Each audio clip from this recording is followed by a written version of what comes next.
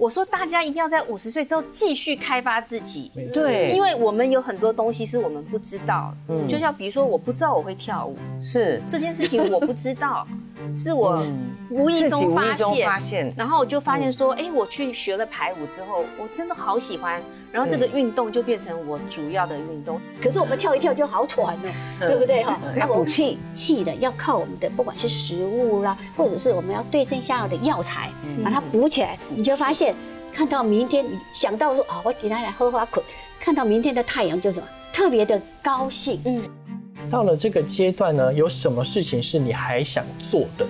自己要思考，开始思考，或者是去想说，哎，有什么事情是你以前想做，但是还没有去做的？嗯，哎，往这个方面开始做一些尝试跟新的学习，其实就是很棒的。嗯，对，要有新的刺激进来。